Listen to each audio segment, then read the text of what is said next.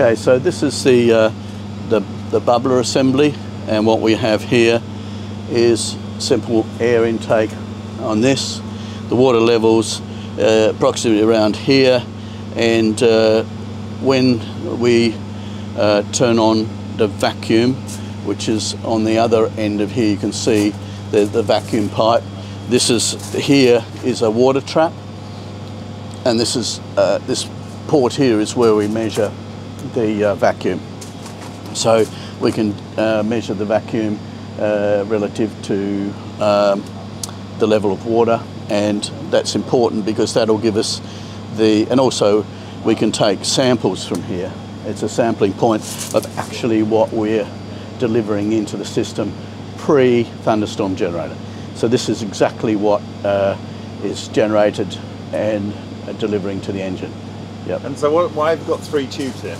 Um, well, the three tubes are found is interesting because um, we can uh, we use this. This is closest to the to the air intake, so this one's going to work well. This tube will deliver water back into the system that over bubbles, as well as this tube. So it's protecting the engine from any uh, you know water in its liquid phase uh, and any any misting or you know so and this normally in a what, 50 hours work uh, this water trap will accumulate probably uh, about 1.5 litres of uh, so that's to prevent water direct water into the engine correct. Yeah. And so how often do you have to top these up again? Five litres a week and so you know it's not that much compared to the 30,000 uh, cc of the motor and what it's putting through generally. So, so it, and this is where actually it's a very good point. Uh, on that basis, it's not really. I mean, it is. I would say it's not running on water. It's water assisted, or water and its gas phase assisted, but it's not really using that much water.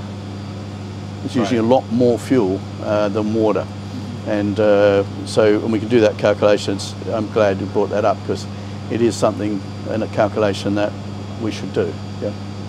And over here I've just uh, placed on uh, scintillator looking for uh, gamma and x-rays and I've got beta on the um, tube there and we've done an audio sample we'll be doing audio samples with these running and so forth and also with this uh, yes I do that yeah and then up here what's what's these dials up here so what we've got here is uh, for each one of the points, we've connected up to gauges so we can see if there's any loss of vacuum and we can see what vacuum is being applied, uh, which will tell you effectively if your water level is going down because the vacuum uh, will decrease as there's less resistance on it.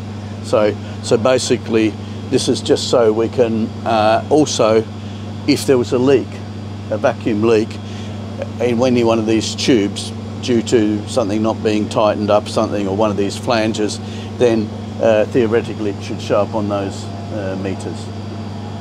So uh, it's, uh, and you can see the points at which they occur, and obviously the uh, so we know uh, what vacuum we have in our our water trap as well.